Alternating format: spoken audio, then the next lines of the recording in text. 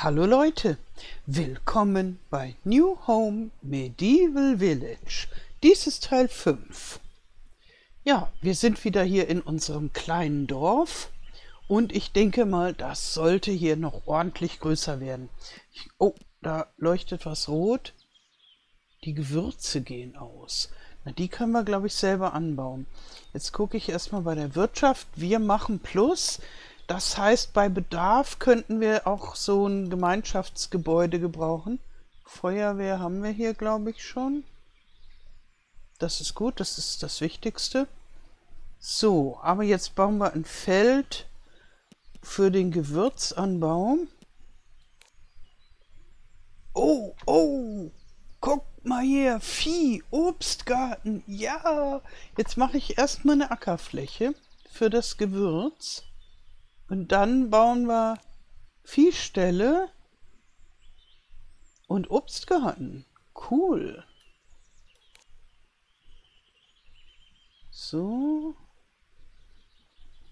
Oh, kann man jetzt größer? Nee, immer noch begrenzt. So. Okay, und da soll Gewürz angebaut werden. Gebäude hat Zugang zu Wasser. Wunderbar. Ja, dann machen wir hier gleich noch was. Auch wenn das Geld kostet, aber das bringt ja auch Geld. Ich mache jetzt erstmal Vieh.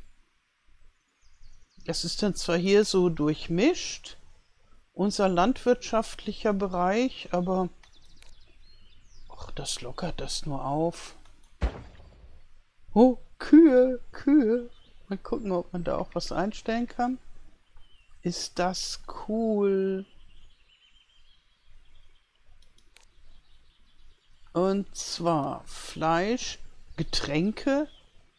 Okay, klar, Milch, logisch. Kühe, Schafe, Schweine. Super, super. Jetzt gucken wir uns mal die Schafe an. Ja, die sind auch nett.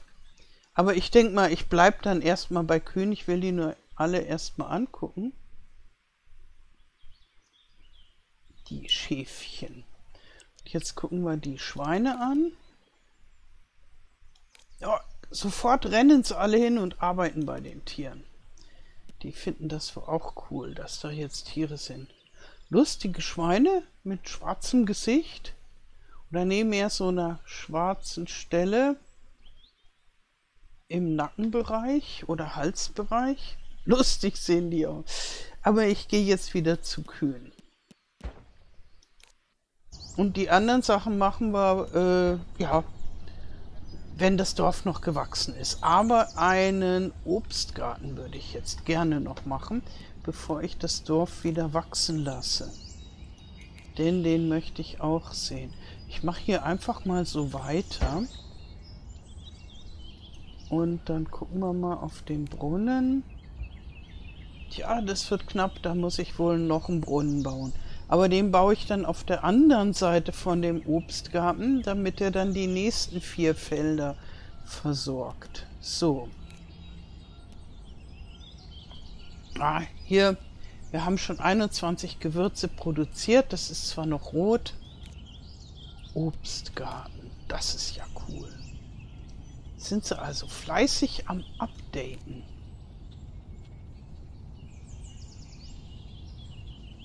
Einfach so, ohne dass ich da was merke. Ne? Weiter als 7 geht nicht. Okay. Ja, so. Oh, Bäume. Ja, logisch. Wie habe ich mir einen Obstgarten auch anders vorgestellt? Ja, super.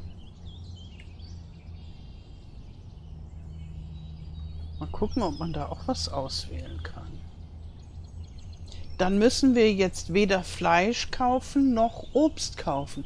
Wir können jetzt alles selber herstellen. Jetzt sind wir Selbstversorger. Waren Früchte. Gut, ist okay.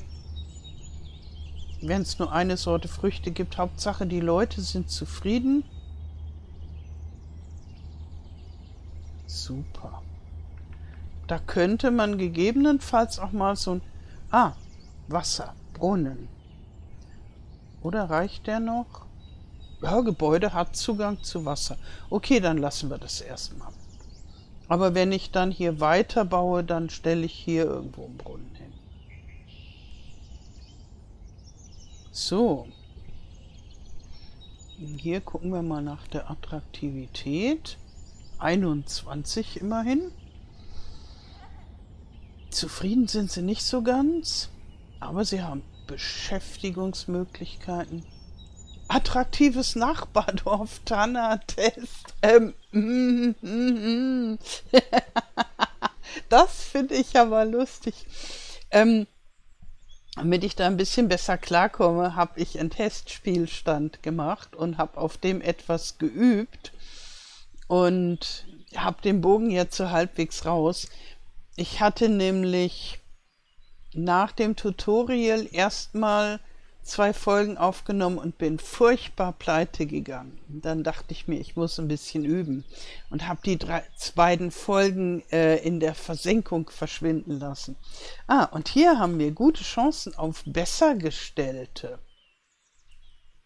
Das ist gut. Gucken wir mal, ob wir über, ob wir schon Bessergestellte haben. Jo, fünf.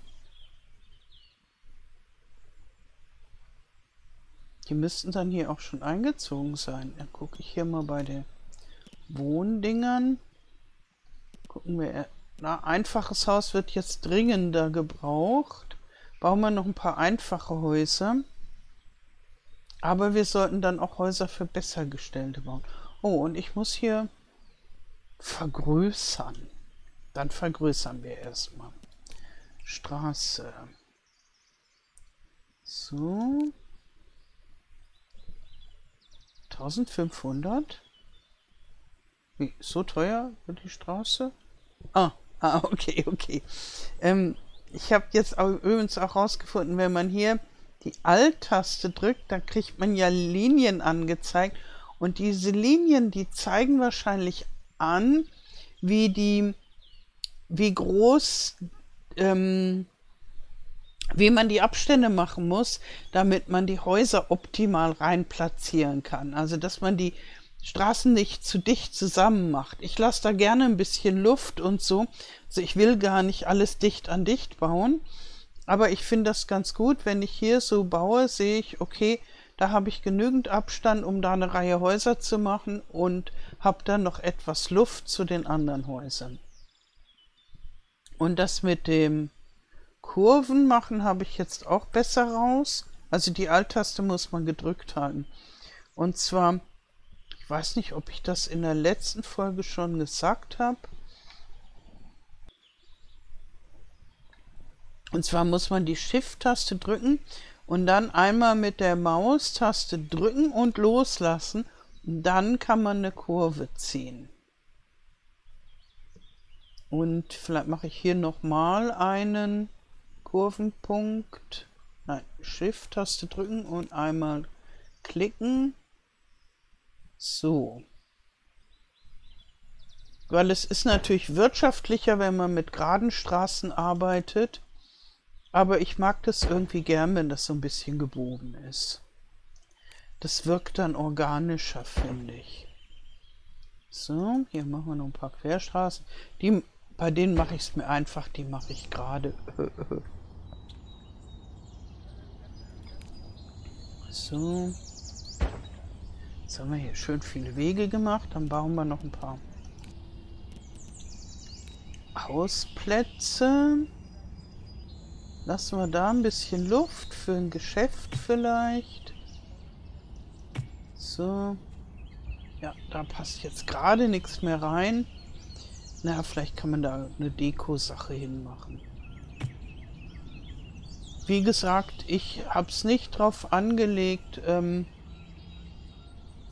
optimal dicht zu bauen, sondern dass es irgendwie gefällig daherkommt. Vielleicht mache ich da nochmal wieder einen Laden. Und wenn ich die Karte voll gebaut habe, dann müssen wir halt eine neue Karte bauen. Also wenn wir dann immer noch Lust haben, das zu spielen, beziehungsweise ihr mir zuzuschauen dabei. Erstmal mache ich hier an die geplanten Stellen Geschäfte hier und dort. Und dann baue ich einen Ortsteil für die Bessergestellten. Was ist denn hier eigentlich? Habe ich da schon was angelegt für die? Mal gucken. Normales Haus. Da sieht man jetzt gar nicht mehr die Zahl. Aber ich denke mal, das hier sind schon normale Häuser. Dann bauen wir hier weiter normale Häuser. So. Und da lassen wir ein bisschen Platz ja etwas reichere. Die wollen Platz haben zu ihrem Nachbarn. Und noch einen Laden. Oder vielleicht sogar zwei. Und vielleicht können wir auch noch so eine Werkstatt bauen. Jetzt gucken wir erstmal die Finanzen an. Oh, das ist gut, das ist sehr gut. Und das alles mit normalen Standardsteuern. Also da musste ich jetzt noch nichts er erhöhen. Im Prinzip ist das Geheimnis für den Profit bei dem Spiel, wie bei vielen anderen Spielen, nicht so schnell äh, Gebäude bauen, die Fixkosten haben, also diese Feuerwehr, Schule und so weiter, sondern lieber Platz dafür lassen. Das sollte ich auch bedenken, dass ich da Platz lasse. Und erst wenn man im Plus ist und das braucht, dann die Fixkosten erhöhen. So. Und jetzt so eine so ein Produktionsgebäude Kostet natürlich was. Ich schau mal, was ich da noch schon habe. Nicht damit ich lauter schneide, nicht, dass ich lauter Schneidereien mache. Vier Schneidereien habe ich schon. Und nee, und noch keine Brauerei. Und das geht ja gar nicht. Also muss jetzt jetzt brennt's, aber die Feuerwehr kommt. Das ist doch schön. Also, eine Brauerei muss her, ganz ganz dringend. Ist ja komisch. Wir haben recht viel Getränke. Irgendwie produzieren wir Getränke. Wir haben. Ist das nicht. Nee, das Gebäude ist ein bisschen anders. Aber das würde hier hinpassen, die Brauerei. Packen wir mal hier eine Brauerei hin. Und produzieren wir Holz. Muss ich hier auch mal gucken. Oh, Diebe überall. Schneiderei unterhalb, fünf Gebäude, Herberge. Vielleicht haben sie das hier zusammengefasst.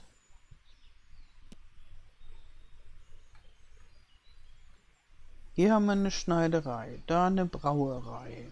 Dies hier ist ein Arbeitsplatz. Ah, so ein, so ein blaues Zonengebäude. Hier haben wir eine Brauerei.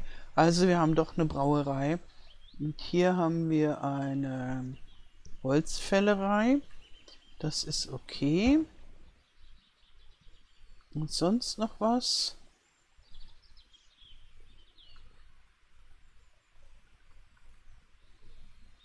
Hier haben wir praktisch beides. Eins, zwei, drei, vier, Ah ja, und fünf haben, haben sie angezeigt, das mit der neuen Brauerei. Okay, dann baue ich jetzt hier vielleicht noch eine Holzfällerei hin. So. Ja, die passt doch hier ganz gut hin. An den Rand zum landwirtschaftlichen Bereich. Und hier können wir Unmengen verkaufen. Dann gehe ich mal hier auf Waren verkaufen. Wir könnten 2000, 1, 2, 3 Getreide verkaufen und Gemüse könnten wir auch 1000 verkaufen. Das lohnt sich jetzt richtig. Ja. Getränke könnten wir 500 verkaufen. Und dann ist auch erstmal gut. Gewürze haben wir jetzt auch ordentlich. Das finde ich toll, dass wir jetzt alles selbst produzieren können. Und auch noch ein Plus machen durch die Steuern. Das ist schon super. Ich meine, wenn ich jetzt schneller expandieren wollte, dann könnte ich vor allem die Zeit mal schneller stellen, ähm, könnte ich auch eine, ein zusätzliches Dock hinbauen. Aber momentan bin ich hier mit dem Bauen eigentlich ganz ausgelastet und das gemütlich zuzuschauen. Gucken wir mal, was da für Neuankömmlinge kommen. Arm, Arm, Arm, Arm. Alle arm. Okay. Jetzt schauen wir mal hier die Statistik an. Ja, da hat sich nicht so viel getan. Aber ich denke mal, das wird bestimmt bald besser. Und wir könnten uns bestimmt noch irgend so ein Versorgungsgebäude leisten. Wir haben die Feuerwehr und sonst nichts. Jetzt gucken wir mal hier. Gesundheit fehlt am meisten. Dann bauen wir doch mal eine Klinik. Oh, Arbeitsplätze haben wir nur 80. Dann brauchen wir ein paar mehr Arbeitsplätze. Hm. Ja, das wurde zwar nicht gemeldet, aber so, so sieht's aus. Dann bauen wir noch ein bisschen paar Felder. Und das war ja jetzt dann auch richtig, dass ich noch eine Brauerei und eine Holzfällerei gebaut habe. Und wir bauen noch ein paar von diesen Geschäftsgebäuden. Ja, hier sind wieder Neuankömmlinge. Besser gestellt. Sehr gut, sehr gut. Zwei Familien praktisch, die besser gestellt sind. Ja, und sonst... Oh, hier noch welche. Ein paar. Man könnte die auch so richtig verfolgen, die Leute. Also nicht im Sinne von äh, dass man sie verfolgt, sondern dass man äh, schaut, wie es ihnen geht im Laufe der Zeit. Vielleicht kriegen sie auch mal Kinder oder so. Und was sie arbeiten, wie zufrieden sie sind. So. Irgendwas wollte ich zuerst machen. Geguckt haben wir.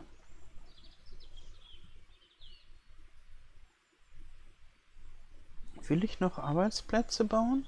Also noch Landwirtschaft? Ja, da wir jetzt so viele schöne Möglichkeiten haben. Und dann haben sie auch mehr Arbeitsplätze. Ja, sie wollen auch. Ähm, machen wir noch ein bisschen Vieh. zwecks Vielfalt. So.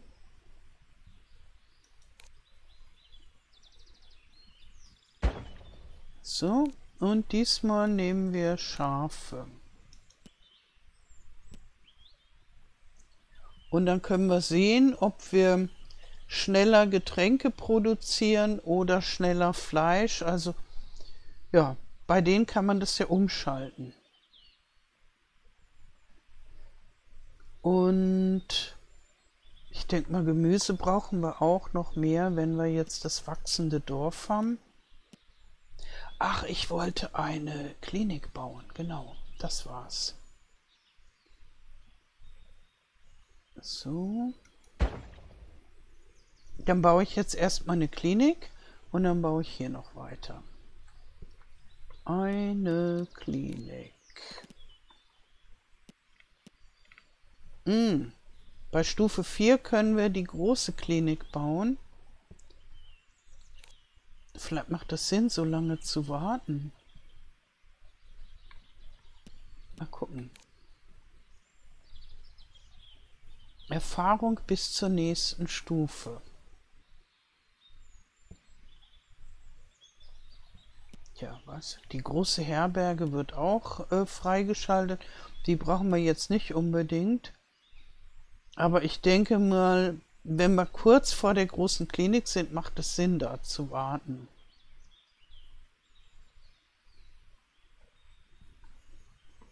Ja, dann baue ich jetzt hier noch ein Feld.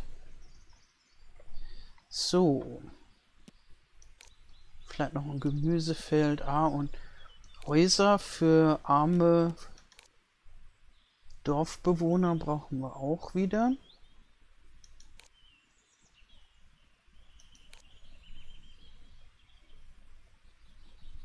So. Gemüse, jawohl. Und soll ich hier Getreide noch machen? Warum nicht? Wenn ich schon dabei bin.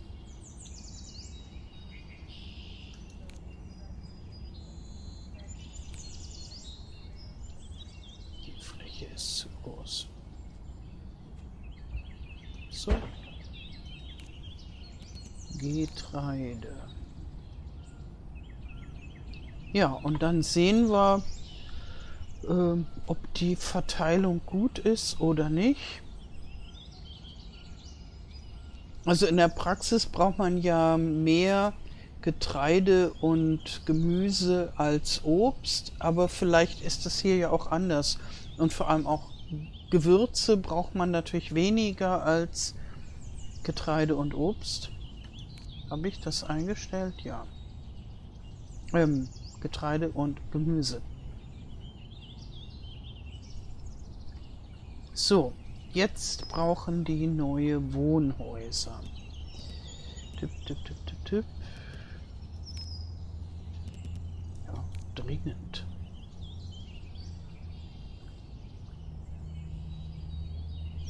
Mache ich da gegenüber auch eine? Obwohl, man kann es ja auch abwechselnd machen. Ab, abwechselnd machen. Hier ein, zwei Wohnhäuser. Und oder hier sogar. Passt da dann noch eins hin? Nee. Da mache ich dann ein Gewerbehaus. Und hier mache ich ein Gewerbehaus in der Mitte.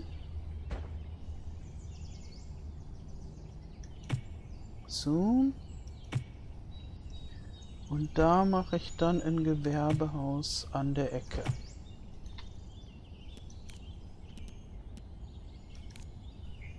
Und dann müssen wir wahrscheinlich auch für unsere Bessergestellten noch neue Zonen zuweisen.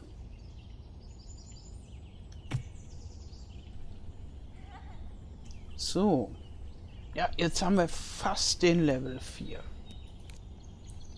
Zehn Punkte fehlen uns noch. Gut, mal gucken, wer so kommt. Ja, mal wieder laute Arme nur. Da sind noch ein etwas älteres Paar. Oh, da brennt's. Schafft es die Feuerwehr bis dorthin? Sieht gut aus. Und ich guck mal die Finanzen. Oi, sind die gut. Aber die große Klinik wird auch ordentlich Geld kosten. Also jeden Monat meine ich. Beziehungsweise jeden Tag. Was ich auch gucken wollte, ist, ob unser neu gebautes Haus hier schon verbaut wurde. Also dies ist das erste Haus, was ich gebaut habe und dies das zweite. Hier auch noch mal. Und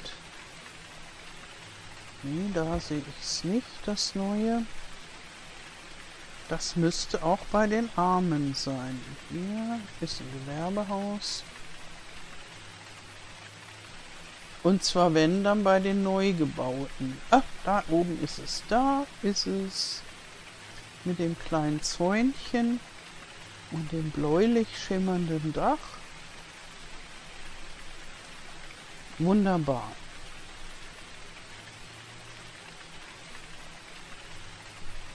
Ja, wenn man will, kann man da ganz fleißig bauen. und auch die, die Häuser für die etwas besser gestellten sehen auch entsprechend besser aus. Hier, die haben da so einen Sockel und ja, Steine. Kann man auch schöne Sachen bauen. Und ich denke mal, die für die noch wohlhabenderen sehen dann noch besser aus. Jetzt gucke ich hier mal Zonen. Für die eins ist noch frei.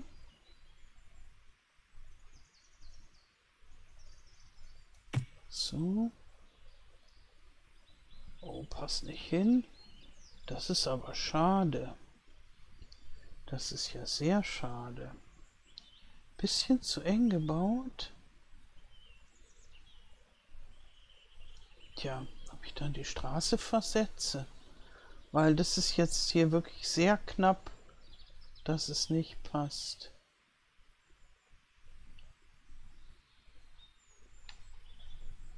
Oder kann man da vielleicht was anderes dann hinsetzen? Hier kann ich auf jeden Fall noch mal eins hinbauen. Und dann gucke ich mal, ob da vielleicht noch eine Schneiderei hinpasst. Ja, die passt. Dann ist ja gut.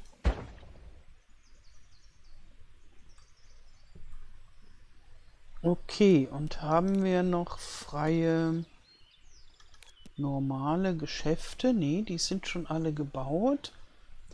Dann da wird eins hinpassen. Oder auch hier. Ich denke mal, hier macht Sinn. So, und das Geld fließt rein. Oh, ich habe Level 4. Wunderbar. Dann kaufen wir die große Klinik. Und eine große Schule sollten wir uns dann auch leisten. 180 kostet es Unterhalt am Tag. Passt die hier hin? Ja, was die hier? Da würde sie hinpassen. Ist ein bisschen zu weit rechts eigentlich. Weil die auch noch die Felder mit Gesundheit versorgt. Gucken, passt die auch hier hin? Ja, da wäre es eigentlich besser.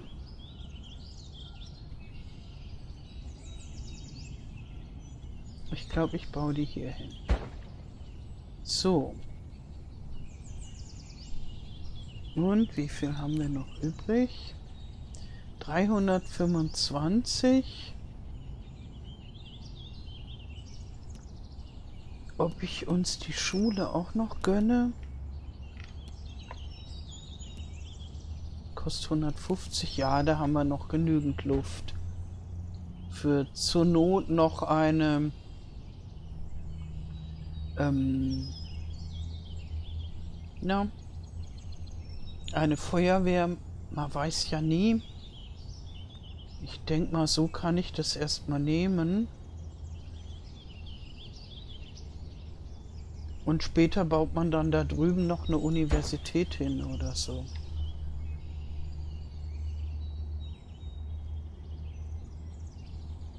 Ja, jetzt müssten die auch noch zufriedener werden. Mal gucken. Oi, oi, oi. Ja, besser gestellte ziehen jetzt schon gerne her aber noch keine Wohlhabenden.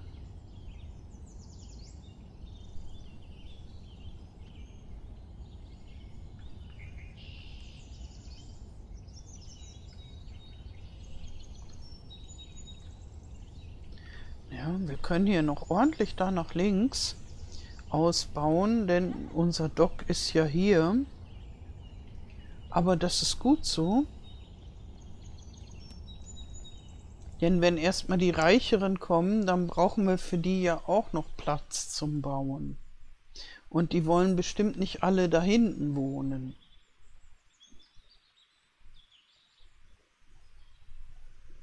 Und ich könnte überlegen, ob ich hier noch ein zweites Dock hinbaue. Hm.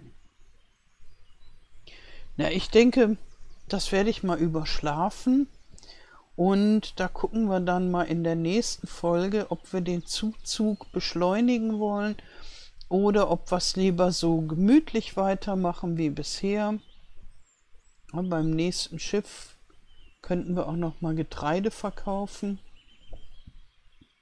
Hm, warten wir das noch ab. Das ist wieder langsamer geworden.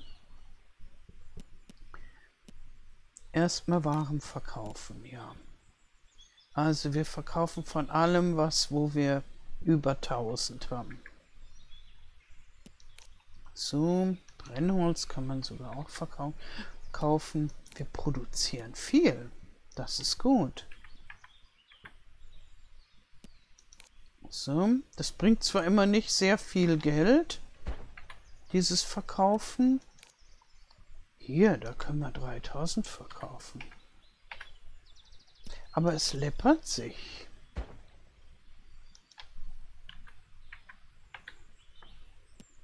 So.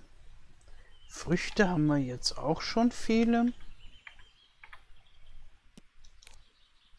Ja, also unseren Bedarf können wir gut decken mit Früchten. Natürlich, wenn das Dorf viel größer wird, dann irgendwann nicht mehr. Sehr gut. Gucken wir mal. Ja. 219 täglicher Gewinn, obwohl wir Schule und Klinik gebaut haben. Das ist doch fein. Jetzt gucken wir hier noch die Neuankömmlinge an. Oh, besser gestellt. Und besser gestellte. Na, das ist doch fein. Gut. Ja.